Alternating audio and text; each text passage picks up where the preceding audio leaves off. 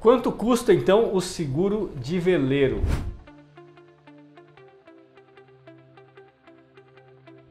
Bom, veleiro ele, ele tem uma taxa é, menor do que lancha, porém ela pode crescer em função das utilizações. Então um veleiro hoje ele também inicia, pode iniciar na faixa de um 0,6 e vai até cerca de 1,5% mais ou menos. Ele tem uma taxa um pouco menor do que lancha. O que pode agravar essa taxa é que o veleiro ele tem participação em regata, ele tem charter, ele tem extensão de limite de navegação. Tem veleiro, por exemplo, o cara sai, vai para o Caribe. Então todas essas coberturas adicionais podem trazer um custo maior. Agora a taxa fechada, básica, ela, ela varia entre 0,6% e 1,5% do valor. Bacana. Lembrando que a embarcação, essa variação de 0,6% a 2%, 1,5% né, no caso de veleiro, caso de veleiro, vai variar muito com relação à própria embarcação.